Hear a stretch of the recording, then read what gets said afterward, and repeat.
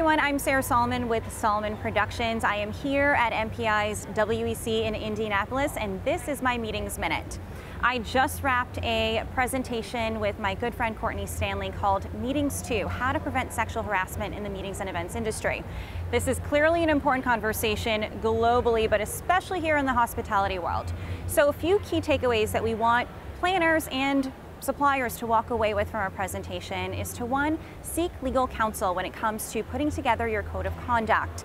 Don't forget to do your research, of course, as to what that code of conduct should look like. Use other organizations to see what they're doing within their own code of conduct. From there, if allegations come to light at your event, all you can do is show support, not jump to conclusions, and communicate that code of conduct and outline and plan that you are going to seek in order to make sure that that attendee with the claim is being taken care of correctly.